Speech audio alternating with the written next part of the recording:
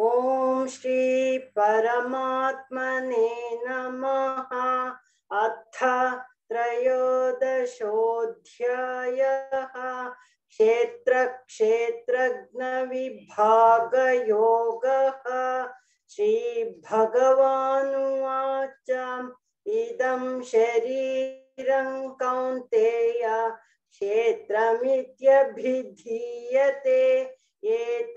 एतद्यो वेत्ति तं प्राहुः क्षेत्रज्ञ इति तद्विदः। क्षेत्रज्ञं चापि मा विद्धि। सर्वक्षेत्रेषु भारत। क्षेत्र क्षेत्रज्ञयोर्ज्ञानं यत्तज्ज्ञानं मतं मम।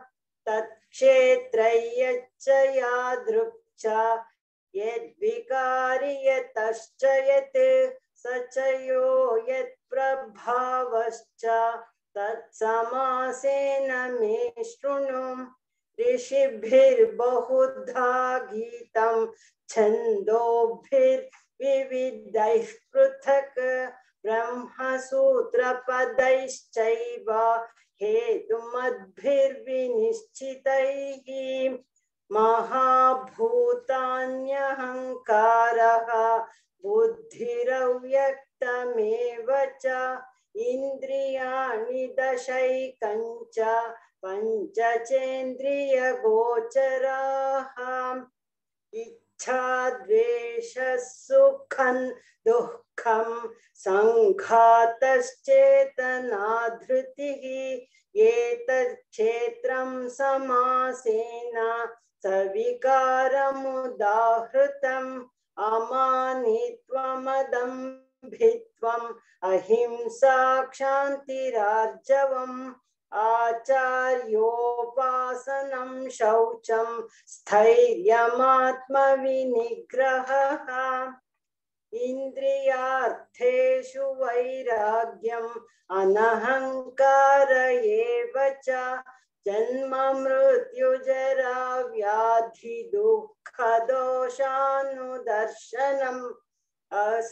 असक्तिरनभिष्वङ्गः पुत्रदारगृहादिषु नित्यं च समचित्तत्वम् इष्टानिष्टोपपत्तिषु मयि चानन्ययोगेन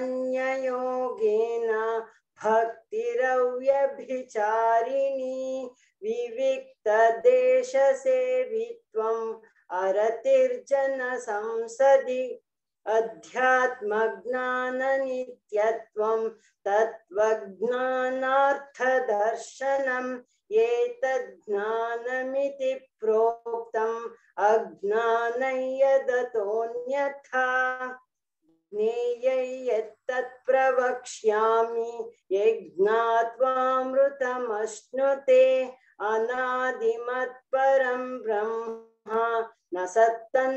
सत्तन्नासदुच्यते सर्वतः पाणिपादं तत् सर्वतोक्षिशिरोमुखं। सर्वतः श्रुतिमल्लोके सर्वमावृत्य तिष्ठति। सर्वेन्द्रियगुणाभासं। सर्वेन्द्रियविवर्जितम्। असक्तं सर्वभृच्छैव। निर्गुणं गुणभोक्तृ च बहिरन्तश्च भूतानाम् अचरं चरमेव च सूक्ष्मत्वा तदविज्ञेयं दूरस्थं चान्तिके च तत् भूतेषु विभक्तमिव च स्थितं भूतभर्तृ च तज्ज्ञेयं ग्रसिष्णुप्रभविष्णु च ज्योतिषामपि तज्ज्योतिः तमसः परमुच्यते ज्ञानं ज्ञेयं ज्ञानगम्यं हृदि सर्वस्य विष्ठितम् इति क्षेत्रं तथा ज्ञानं ज्ञेयं चोक्तं समासतः मद्भक्तये तद्विज्ञाय मद्भावायोपपद्यते।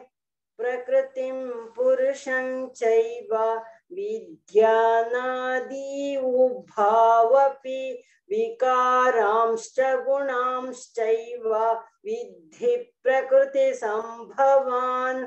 कार्यकारणकर्तृत्वे हेतुः प्रकृतिरुच्यते पुरुषः सुखदुःखानां भोक्तृत्वे हेतुरुच्यते। पुरुषः प्रकृत पुरुषः प्रकृतिस्थो हि भुङ्क्ते प्रकृतिजान् गुणान् कारणं गुणसङ्गोऽस्य सदसद्यो निजन्मसु। उपद्रष्टानुमन्ता च भर्ता भोक्ता महेश्वरः, परमात्मेति चाप्युक्तः, देहेऽस्मिन् पुरुषः परः य एवौ पुरुषं, प्रकृतिं च गुणैः सह सर्वथा वर्तमानोऽपि न स भूयोऽभिजायते। ध्यानेनात्मनि पश्यन्ति केचिदात्मानमात्मना अन्ये साङ्ख्येन योगेन कर्मयोगेन चापरे अन्ये त्वेवमजानन्तः श्रुत्वानेभ्य उपासते तेऽपि चातितरन्त्येव। मृत्युं श्रुतिपरायणाः, यावत् सञ्जायते किञ्चित् सत्त्वं स्थावरजङ्गमं क्षेत्रक्षेत्रज्ञसंयोगात् तद्विद्धि भरतर्षभां समं सर्वेषु भूतेषु तिष्ठन्तं परमेश्वरं विनश्यत्स्व विनश्यन्तं यः पश्यति स पश्यति, समं पश्यन् हि सर्वत्र। समवस्थितमीश्वरं न हि नस्त्यात्मनात्मानं। ततो याति परां गतिम् प्रकृत्यैव च कर्माणि क्रियमाणानि सर्वशः। यः पश्यति तथात्मानम् अकर्तारं स पश्यति यदा भूतपृथग्भावम् एकस्थमनुपश्यति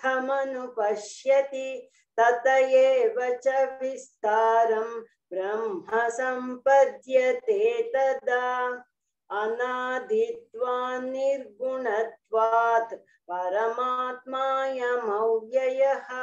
शरीरस्थोऽपि कौन्तेय न करोति न लिप्यते।